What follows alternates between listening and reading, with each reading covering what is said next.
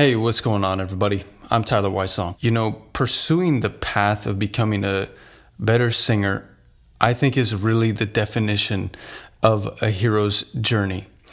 You are almost guaranteed to be met with many obstacles, trials, and tribulations along your journey. But hey, if you didn't have those things, I guess it wouldn't be much of an adventure. What's most important though is when you are met with these challenges.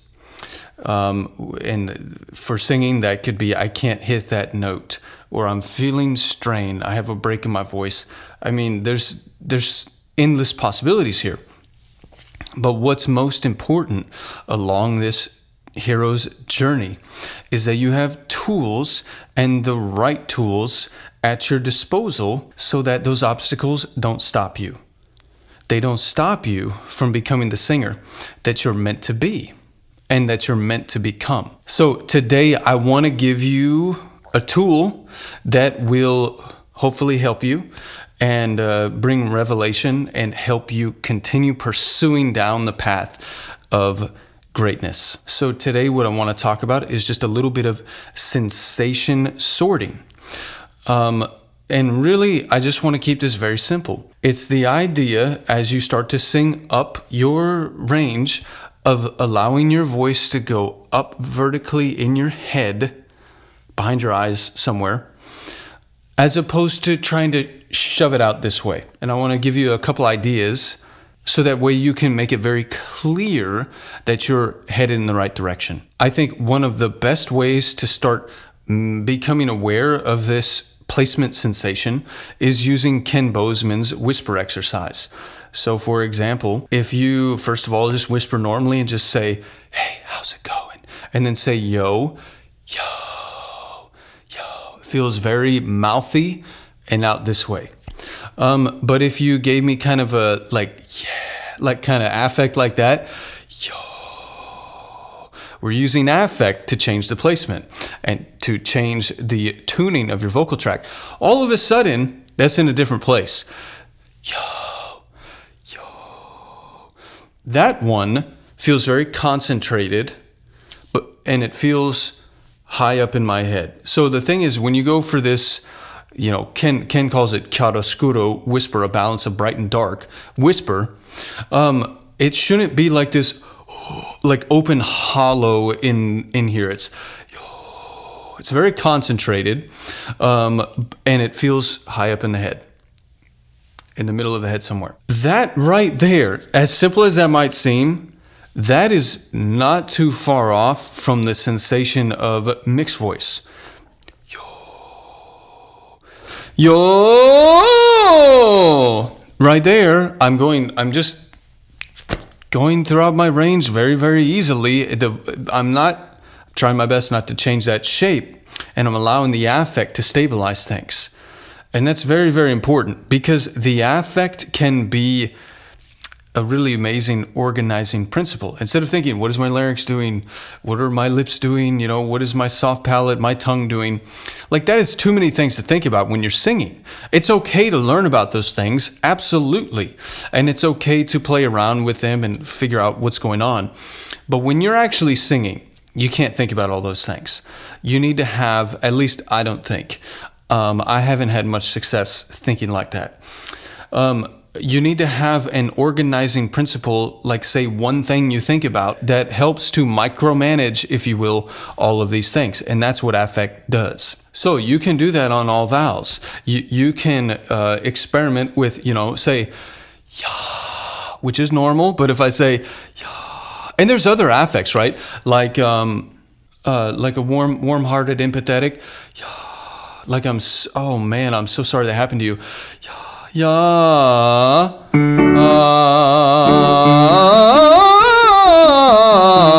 Uh, okay, you know you can put on a scale. You can you can just migrate up and down. But the point is that that voice is traveling very easily up into the head. Now, I should mention, especially for you know like popular styles of singing which is like what i sing um, like rock and roll music pop music country whatever um, you know we a lot of times are not going for this, we are not going for the same kind of depth as, uh, say, a, a good classical singer would be going for. So there is very much so a temptation in popular styles of singing to focus yeah like too much like that and we lose we start to hike the larynx up by thinking up. So it is important to to allow the voice to go up but there is something that stabilizes downward and into the body. Now one it's going to be based on comfort but also it's going to be genre specific too. So you learn these shapings, but then you may have to modify them ever so slightly, uh, which totally cool to get the sound that you're going for so that you sound authentic in the style of music that you're singing. So, for example, I know an E vowel, and this is all based on Ken Bozeman's work. Yes, I've read his books, but I also have the good fortune of being able to work with him of being able to study with him too. So some of this is stuff that I've read from him, but a lot of it is also just things him and I have worked on in our lessons.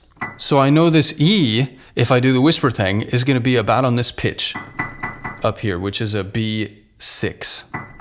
So I don't want to go like this, because then I'm shoving everything forward. But what if I think of like a, that kind of a, empathetic. I feel kind of badly about something.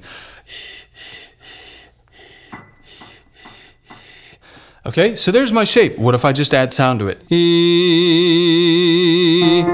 e. Now, regardless of what that sounds like, because I'm not singing anything yet, I'm just making a vowel sound. Watch what happens when I go up the octave. Easy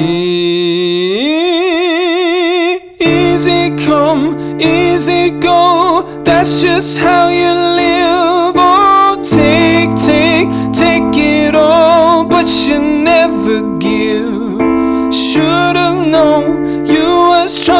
from the first kiss. Had your eyes wide open. Why were they open? Gave you all I had, and you tossed it in the trash tossed it in the trash, yes, you did.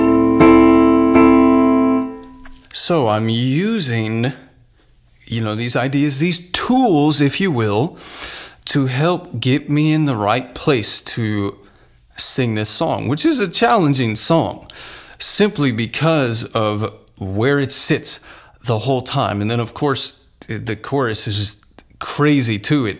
The lowest note in the song, I think, is like a below middle C. So, I mean, you're just living up there. And for my voice type, especially, if I'm going to live up there, I cannot be shouting out this way. Like, that is going to kill me. But if I can find a way to comfortably let my voice float up here, mainly by use of affect and these vowel tunings, just playing around with these things to get my voice to pop up into my head and just know that when it's there, it's right. And it feels comfortable too. Like I don't feel like I have to over pressurize, but I also feel like I can sing into it. Um, I feel like I have dynamics there. I mean, then there you go. Then you're back on the trail, if you will, and you're back headed in the right direction, like I said, on the hero's journey. So I just recently I heard something from Tim Ferriss that I just thought was so amazing. I just wanted to share with you. He was talking about Dean Martin and Mike Tyson. Uh, Dean Martin, of course, was part of like the Rat Pack, you know, with Frank Sinatra and whatnot. And at the time, he was known as, I mean, probably one of the greatest, or at least one of the most famous singers um, in the world. And he vomited before every performance. He was so afraid to get out there and sing. Mike Tyson, similar thing. Um, you know, Mike Tyson, the boxer, he's going to rip your head off. He's back before the match started. Same thing, throwing up. He was scared. They they felt fear.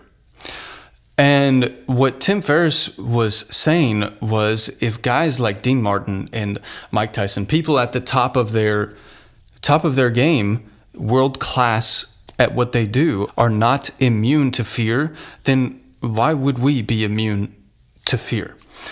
And also, we have to understand, and this is based off of Stoic philosophy the hero and the coward feel the same fear, but the hero does something different. I want to encourage you to keep being the hero. It's okay to feel fear, it's okay to feel anxiety before a performance, but choose to be the hero. Do something different.